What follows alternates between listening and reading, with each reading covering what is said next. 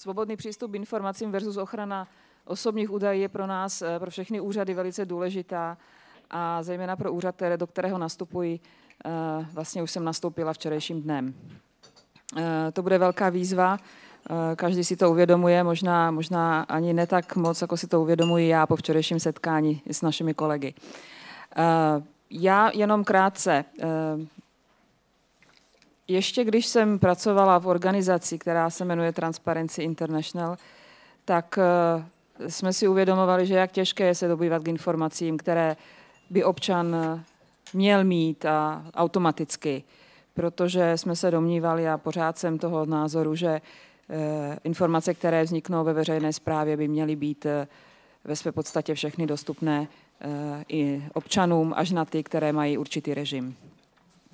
Samozřejmě jsou i některá omezení a ta omezení jsou Eh, zda už eh, zákonem dána nebo jsou nějakým jiným způsobem restrikt, restriktivní. Eh, tady musíme hledat nějaký balans a právě proto jsem ráda, že konferenci spolu organizujeme s Úřadem pro ochranu osobních údajů, protože jsou to ve své podstatě naši partneři a jsou to, je to vlastně druhá strana stejné mince. Konferenci jsme zorganizovali zejména kvůli tomu, protože tady vidím Oldřicha Kužilka, otce, opravdového otce zákona 106. Uh, eh, matku nevím, kdo je matka, samozřejmě, ale, ale otce určitě.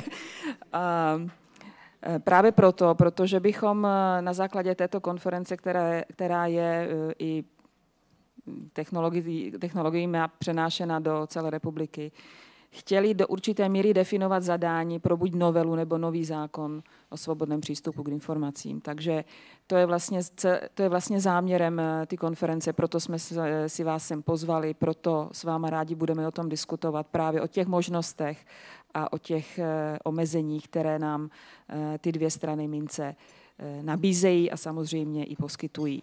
Já vám přeji přeji nám, aby se konference vydařila lépe řečeno, aby to nebyla jenom taková jedna, kterou si očkrtneme, ale aby opravdu z toho vzniklo nějaké zadání, s kterým budeme moci, nebo kolegové, mý kolegové budou moci nadále pracovat. A když možná v příštím roce se potkáme na tomto fóru, tak si budeme moci říct, máme věcný záměr. Tak to je ten cíl. Děkuji vám.